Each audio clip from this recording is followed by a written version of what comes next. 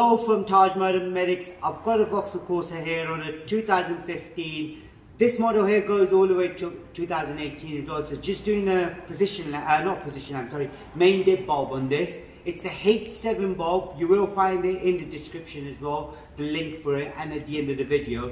So if you did want one, but I'll show you how it's done. As you can see, that one there is working, and this one isn't. So we're gonna replace this one. But to do it, uh, if you switch the lights off, please, for me. Keys out. Brilliant. Now, I'm doing that side, but I'm gonna show you on this side here. This is this is the cover I just removed. On the inside there, as you can see that plug right there so all I have to do is push the pin clip up and then take the whole thing out now just remember how you take it out and the pin locator for the H7 bulb as well and then uh, you got to remember these bits here either side of them and how they go as you can see that bit right there they got gaps in it just right here and there. So that's got a gap in it. So what I need to now do is put this back on because it's a lot easier this way. So you get an idea how to do the other one. When I push it in you'll hear a click.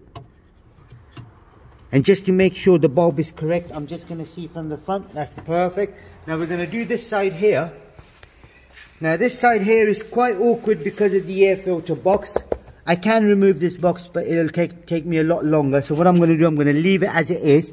But that's the plug we need to take out.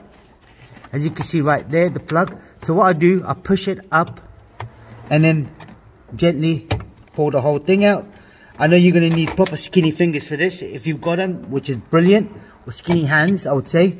So once you take it out just remember how you put it back in. So that H7 ball pin locator should be facing up right the opposite direction of the clip as you can see here.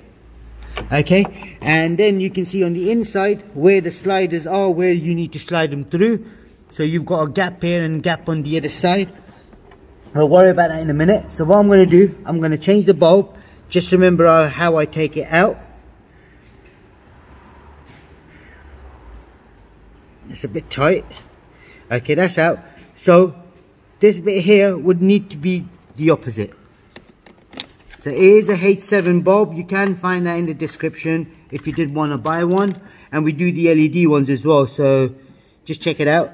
So like I said, this needs to be the opposite of the clip. So push it in. And then I just have to slide it through now. Through the gap.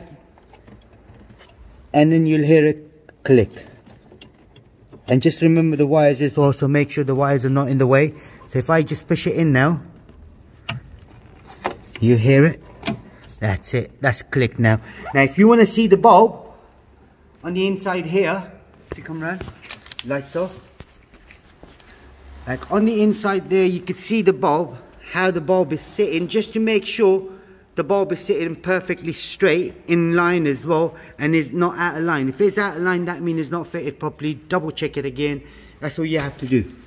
Okay, now what we're going to do is check the lights. Could you please switch the ignition on? There we go. Now that one there is working.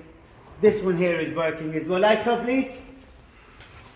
Right, that's all it was. That's all you had to do on this particular model. There is a playlist for Vauxhall, there is a playlist for bulbs as well, so do check it out if there's something else you need to know, like the brake light bulb, fog light bulb, reverse light, whatever it is, TPMS, uh, tire pressure reset as well. You can check them out at the same time. And uh, if there is anything in particular you need to know, leave us a comment below and we'll try to help you as much as we can. And don't forget to subscribe to our YouTube channel, like the video, thank you and goodbye.